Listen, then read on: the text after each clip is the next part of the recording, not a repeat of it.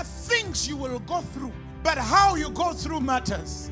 You know, it's one thing to go through things, but it's another when you know that the Lord is with. Fix your eyes on what God is doing.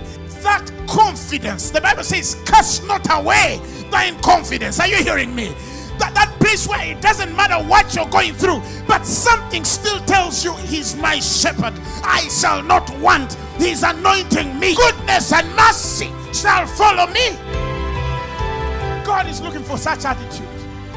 That place where you can go through stuff and people come and pity you, and you tell them, darling, don't pity.